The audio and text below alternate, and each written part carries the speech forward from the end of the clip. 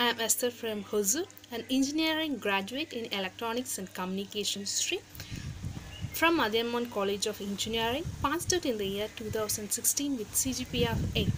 I live in joint family of 5 members, in-laws, my husband, myself and a 1 year 5 months old daughter. I have 7 months work experience from ATEC as an engineering apprentice, where my work was to manage the things between store and production and from production to packing and from packing to finally sending it to the customer.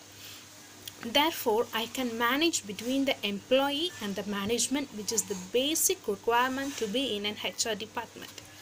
I have basic soft skill knowledge in C programming, .NET and Xilinx. I did my final year project use in Xilinx using the MATLAB software, which I have also uplo- uploaded on the portal. Uh, I am aptness in producing the best results and target oriented. I am much interested in learning about the new technologies, which is the basic requirement to be an IT recruiter. Thank you.